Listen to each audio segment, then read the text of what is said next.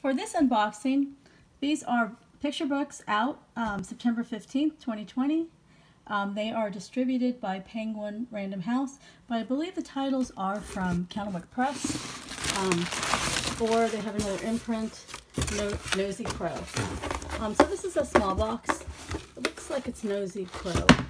Um, just because I know Nosy Crow does um, kind of the books from uh, children's TV series.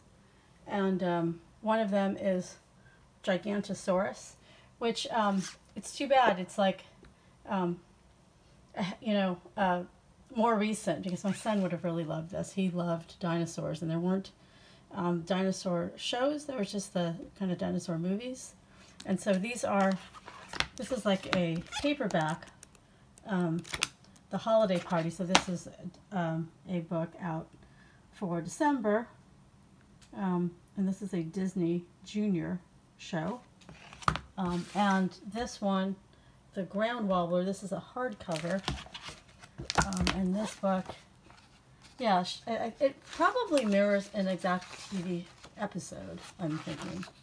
Um, and so, yeah, kids who like the show um, will love the tie-in of a book, and it will help them, you know, sort of relate a story that they know or characters that they know um, to a book and, you know, words to the story. Um, so it's great for literacy and gives kids what they like. Um, yeah, so it's a win-win. Um, yeah, my kids, what we read a lot of, of shows they watched were Maisy, um, like, and we had every Maisy book on the planet by Lucy Cousins, and also my middle daughter loved Charlie and Lola, so we had like you know basically every book ever written by Lauren Child as well. And this other one is a board book, Paper Peek Animals by Chihiro Take, Takeuchi. Um, and this is no, Nosy, oh, this is Candlewick Studio. Oh, I think this is Candlewick Entertainment. Okay, so they're all imprints of Candlewick Press. And, um, oh, it looks like it's a cutout, but it actually isn't. That's just like a optical illusion. So this one as well. It looks like it's a cutout, but it's not. It's perfectly flat. So these are actually cutouts though. So here you, you see, it says Africa, and you see this cut out, and you think, okay, what kind of animal is it? You guess. What is it? Do, do, do, do, do, do. Um, oh, and it's a search and find.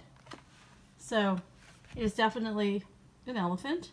And then you can find, I think, probably, um, so it's counting. So it's one lion, two giraffes, three camels, but it doesn't say how many elephants, so maybe that's something they say for the back. So these are animals by continent. So this one's Europe. And what is that? Maybe a wolf. And then North North America. This is fun.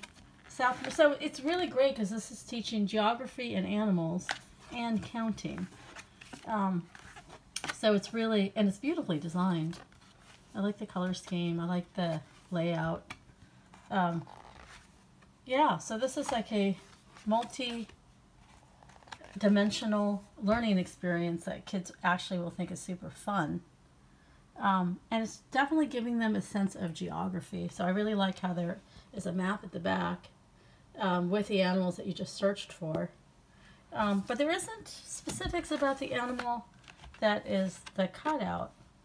So uh, there's a ton of them though, so you're not necessarily counting um, the cutout animal. Well, here it's emperor penguin. So, um, oh, so it's tricky because you have emperor penguins, and then you have penguins that are not emperor. So is that true for all of them? You have a monkey. No, that's just that one. Okay, great. Well, this looks fun.